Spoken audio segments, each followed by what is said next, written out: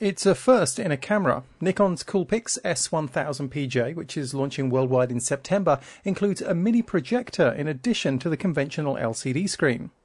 That means that pictures can be shared with a group of people without everyone having to crowd around the LCD. Some of the examples offered by Nikon include running a bedtime slideshow for kids, projecting images onto a tent at camp, and onto the wall at a party. The projector has a brightness of 10 lumens, which means you'll need a dim room for best effect. It can produce VGA resolution images equivalent to about a 10 inch screen over a distance of 50 centimeters or a 40 inch screen over 2 meters.